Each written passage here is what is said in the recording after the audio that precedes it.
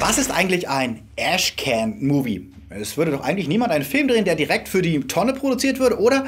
Doch, und zwar aus den üblichen Gründen für geisteskrankes, unlogisches Verhalten im Filmbusiness, rechtlicher Bullshit. Denn wenn im Unterhaltungsbusiness die Rechte für eine Comicverfilmung oder für eine Buchverfilmung eingekauft werden, dann gibt es immer eine Deadline, also eine, einen Zeitpunkt, bis zu dem der ganze Film umgesetzt und äh, produziert werden musste. Wurde bis zu diesem bestimmten Datum kein Film produziert, dann fallen die Rechte an den Autoren zurück und er darf sie theoretisch erneut an irgendjemand anderen verkaufen. Was macht eine Filmproduktion also, wenn sie rumgetrödelt haben und die Deadline rückt näher und näher und näher?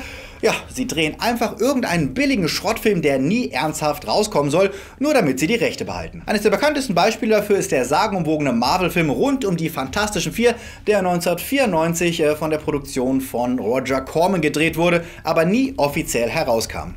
Konstantin Film, die den Film in Auftrag gaben, hatten einfach Angst, die Rechte an den Fantastischen Vier zu verlieren und drehten äh, diese Perle des Trashfilms, damit sie später eine richtig aufwendige Verfilmung machen konnten die dann allerdings äh, genauso scheiße war. Ashcan-Filme sind aber gar nicht mal so selten. Der letzte Hellraiser-Film Revelations wurde innerhalb weniger Wochen runtergerotzt, damit die Weinstein Company die Rechte an Hellraiser behalten darf und die möchte sich nämlich in der Zukunft um ein aufwendigeres, richtig gutes Reboot kümmern und möchte deswegen die Rechte behalten. Revelations war übrigens so scheiße, dass der Film vom Hellraiser-Autoren Clive Barker persönlich verstoßen wurde. So schlimm muss es nicht immer kommen, denn äh, auch X-Men First Class und The Amazing Spider-Man wurden hauptsächlich deswegen produziert, weil die Studios Fox und Columbia nicht wollten, dass die Rechte an Marvel zurückfielen. Aus diesem Grund wird es dann leider wohl auch keine Gastauftritte von Spidey bei den Avengers geben und auch Wolverine und Co. bleiben brav in ihrem Fox-Universum.